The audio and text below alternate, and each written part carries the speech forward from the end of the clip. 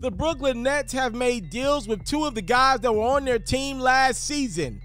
It is not Kevin Durant or Kyrie Irving, not just yet at least. The Nets give restricted free agent Nicholas Claxton a two-year, $20 million deal. That could have some ramifications, and I'll talk about that more in a second. They're also giving free agent guard Patty Mills, who was in Brooklyn last year, a two-year, $14.5 million deal. So he will be returning to Brooklyn as well. Uh, Nicholas Claxton and Patty Mills will have new teammates next year. Can you imagine being Nicholas Claxton? Just a year ago, he was in a perfect situation with James Harden, who loved him. Some Claxton, they played well off each other. It's like, ah, James doesn't want to be here. Dang, that hurts a lot, but I'm gonna still go out there and ball. I got KD and Kai. Wait, wait, wait, wait, wait. Kai gonna leave? Oh, wait, Kai gonna stay. But now KD gonna leave? Now KD's leaving, so Kai leaving too. Can you imagine being Nicholas Claxton? Man, welcome to the NBA. This is a business at the end of the day.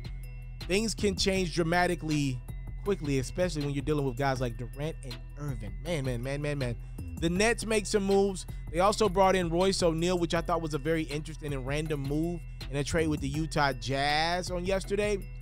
Nets lock up Nicholas Claxton and Patty Mills. We'll see what happens with, with Phoenix here that DeAndre Ayton trade gets a little more interesting with the Brooklyn Nets signing Nicholas Claxton. Look, we don't know when the Kevin Durant trade is going to happen, if it happens at all this offseason. The Nets, I'm assuming, were like, hey, Nicholas Claxton is a guy that's wanted by other teams. We don't have time to wait. We're going to lock him up first and deal with the Kevin Durant stuff next when we get a chance to. Nicholas Claxton could very well be the hindrance in the Brooklyn Nets going again DeAndre Ayton. If they think Claxton is 60, 65, 70% of DeAndre Ayton, then it's like, hey, yo, we don't want to give him $150 million, $180 million. We feel like we got 65% of them at 10 million a clip.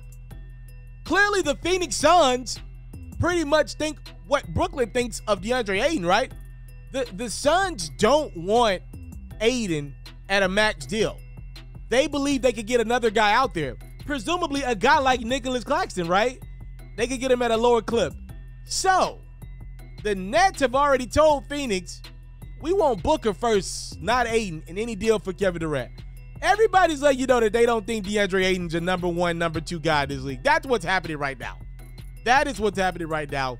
I don't know if if if the Nets and Suns can work out a deal. If DeAndre Ayton's not going to be the centerpiece of it, I don't know if Brooklyn will want to do that. And I don't believe Nicholas Claxton can be traded until December now coming off of that. So he can't be a part of a deal. If I'm not mistaken, I'll make sure I get an update on that. I don't think he can be a part of a deal for DeAndre Ayton because he just signed. You can't you can't trade those guys until December 15th, if I'm not mistaken. So interesting times in the Basketball Association. Nets lock up Patty Mills and Nicholas Claxton before they presumably trade Kevin Durant and or Kyrie Irving.